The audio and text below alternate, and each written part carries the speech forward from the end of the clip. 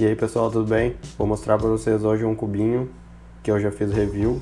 Se vocês ouviram umas risadinhas no fundo é da minha sobrinha que está aqui do lado.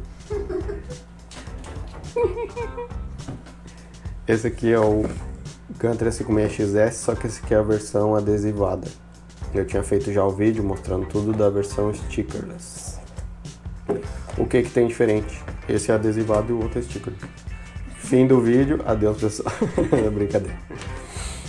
Uh, o que ele tem diferente no peso praticamente nada, é mais ou menos o mesmo peso, tá? Uh, o cubo é muito bom. Os acessórios vêm todos os mesmos dentro da caixinha. Vem o paninho, vem a chavezinha aquela.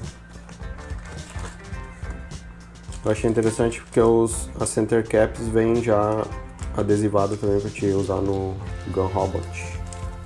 No robozinho aquele para montar sozinho. Vem o card, cartãozinho com o número de série.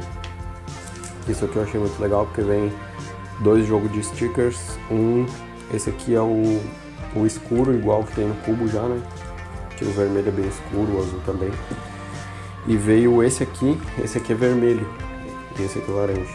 Eu vou abrir aqui para mostrar para vocês a diferença antes de mostrar o cubo. Esse aqui eu não vou abrir porque é igual ao do cubo, vou abrir só esse aqui. Ele vem um joguinho que é mais brilhante, que eu, eu acho bem melhor de, de visualizar as cores. Basicamente essas cores que mudam. Olha o vermelho como fica diferente e o laranja.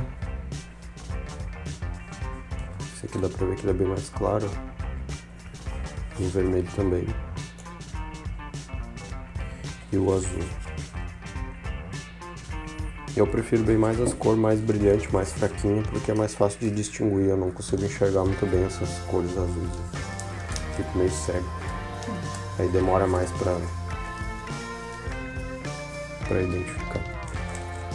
Ele já está setado, usei o lubrificante Angstrom.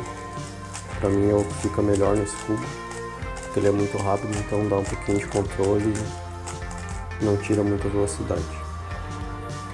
Eu vou deixar um vídeo de resolução no fim, de solos. Quem vai fazer provavelmente vai ser a Ana. Ela não é muito rápida, mas isso aí não interessa. O importante é só vocês verem como é que é o cubinho. Como se eu fosse muito rápido também, né? Hum. Ele é um cubo muito bonito, tá? Eu prefiro mil vezes esses adesivados do que os outros que não tem adesivo. Só que eu meus tempos são bem melhor no outro. Eu acho que é porque é mais fácil de identificar as cores sem ter o preto no fundo. Mas eu acho esse aqui bem mais bonito. E Queria agradecer o meu amigo Renato que comprou esse cubo e deixou eu fazer o vídeo. Valeu, Renato. Obrigado, pessoal. Depois vocês olhem o vídeo de sovos no fim. Valeu, um abraço. So now you're here